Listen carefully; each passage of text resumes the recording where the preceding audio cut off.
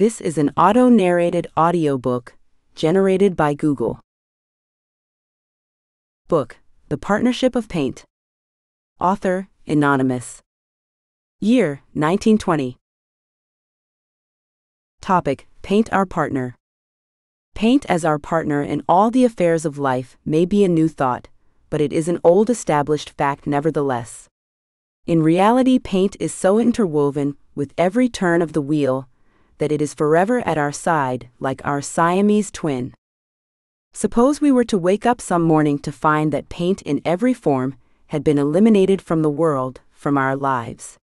What consternation, surprise, indignation, and havoc would reign everywhere.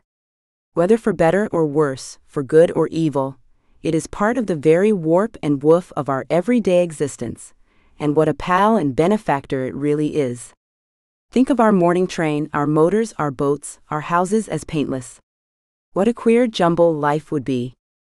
But here stands our partner, paint, ready to jump into any breach and make life full of comfort and happiness and cheer, from the building of a new house, where the painting of every wall, every bit of trim, has to be carefully planned and decided upon, to the many small things about the house that can be transformed by the magic touch of paint.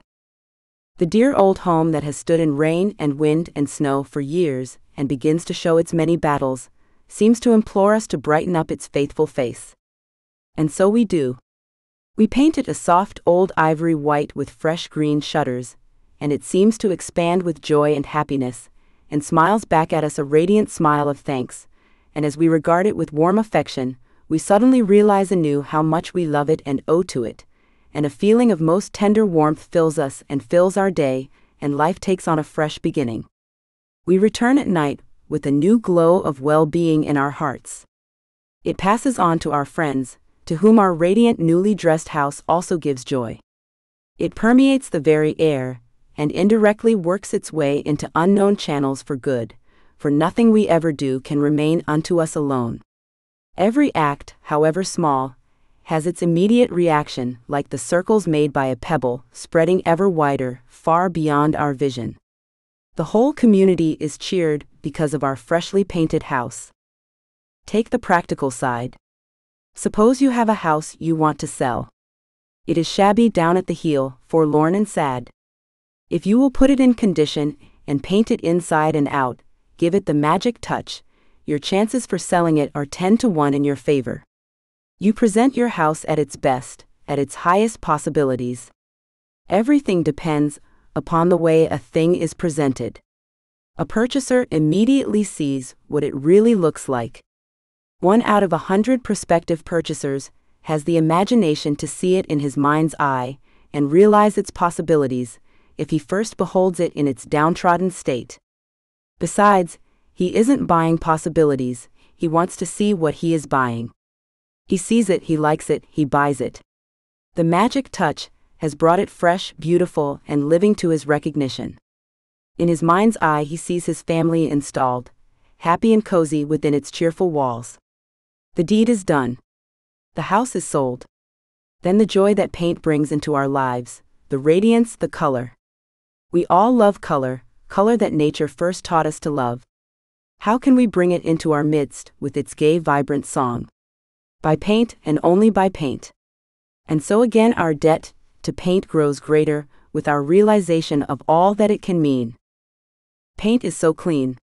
Almost any condition of grubbiness can be made sanitary and wholesome by paint, and it keeps out and prevents illness and disorders.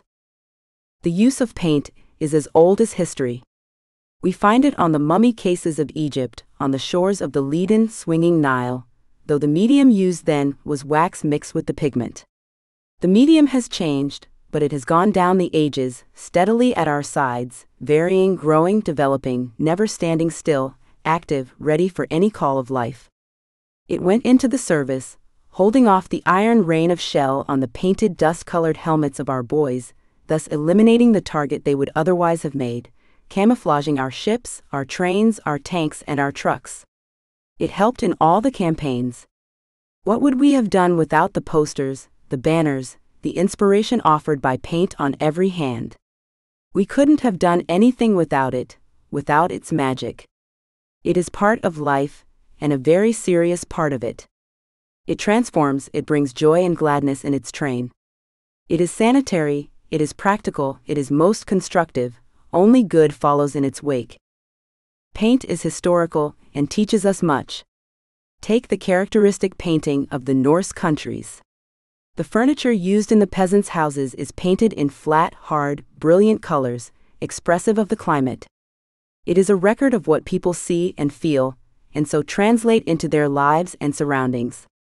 The subtle, inscrutable, complicated civilization of the East is expressed in the Oriental painting of every description, meticulous as it is, detailed, and filled with most exquisite color of every possible nuance, the most delicate shades and tones.